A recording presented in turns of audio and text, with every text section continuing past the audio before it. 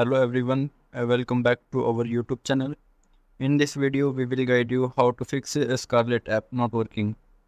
Without further delay, let's dive into the solution.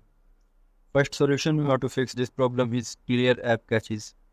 Clearing the app caches can often resolve performance issues.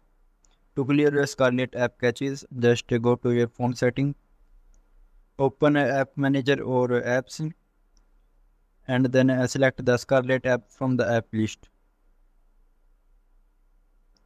Then uh, click on storage and caches and then tap on clear caches to clear the app caches. Second solution to fix this problem is a force close and restart uh, Scarlet app. For that, uh, just click on this back arrow from the top left corner. Then click on force stop from the bottom right corner.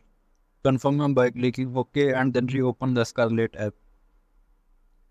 Third solution how to fix this problem is disable and enable your internet connection. If the issue persists, try toggling your internet connection.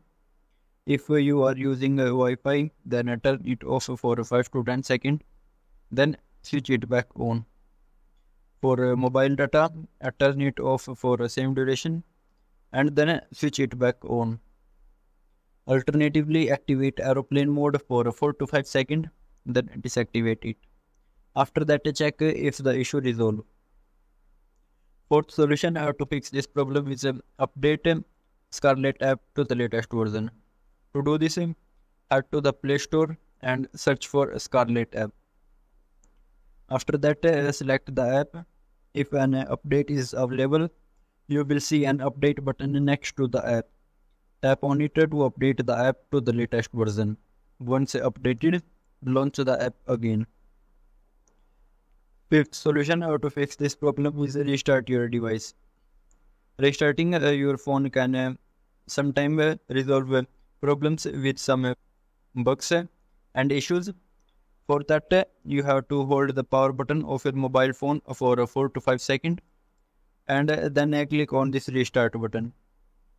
In this way, you can restart your device. Sixth solution how to fix this problem is uh, uninstall and reinstall the Scarlet app.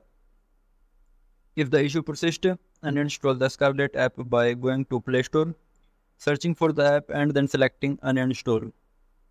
Once uh, uninstalled, reinstall the app by clicking on the install button.